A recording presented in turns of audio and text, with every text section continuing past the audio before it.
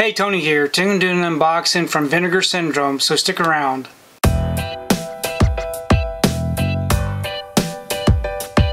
So I received another order from Vinegar Syndrome. Um, I'm not sure exactly what it is that I purchased from this particular order. Um, but I'm going to open it up. We're going to find out what is inside this box. Um, I did do one here recently, last week, maybe a week or so ago, where I unboxed some. So this must be the rest of that order. Um, I'm going to just pull these out of the box. Looks like quite a few titles in this particular order. So we can just see what I got together. Okay, um, as you know, if you've watched any of my videos, I do a lot of blind buying from Vinegar Syndrome based off of recommendations and things that I've researched while I'm on their site. So I'm trying to be, I, I always try to be really cautious of what I get. Um, so first up we have Mother's Day. Beautiful looking slipcover. Never seen this film before. This is a 4K release. So happy to have that one.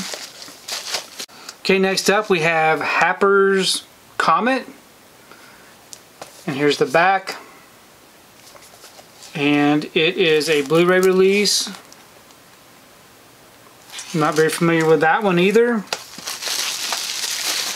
Okay, um, we have Astrakan. Another nice looking slip.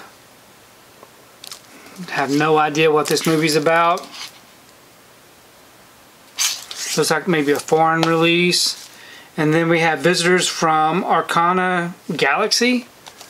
I do remember someone mentioning this and me ordering it. Nice looking slip cover. Blu-ray release. And then we have Sega The Complete History Volume 1. Beautiful looking artwork. I do like these documentary um, about physical media and game systems. So very happy to have this one. Then we have The Hard Part Begins. Not sure what this one's about. Looks like about it looks like it may be about some kind of country singer. I do vaguely remember researching that. So same artwork on the inside. And then the last stack we have Pretending I'm a Pretending I'm a Superman, the Tony Hawk video game story with this really nice packaging with a Nintendo 64 looking look about it.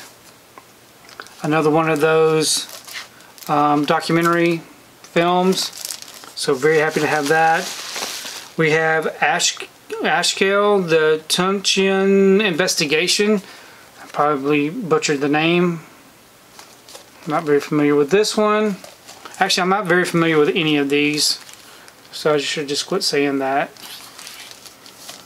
We have Cat City. If I remember correctly, this is an animated film, which looks like an animated film from the slip. So that's the reason why I purchased this one. I always like to have animation added to the collection. And then the last one is East End Hustle with this slip cover. Pretty nice looking artwork.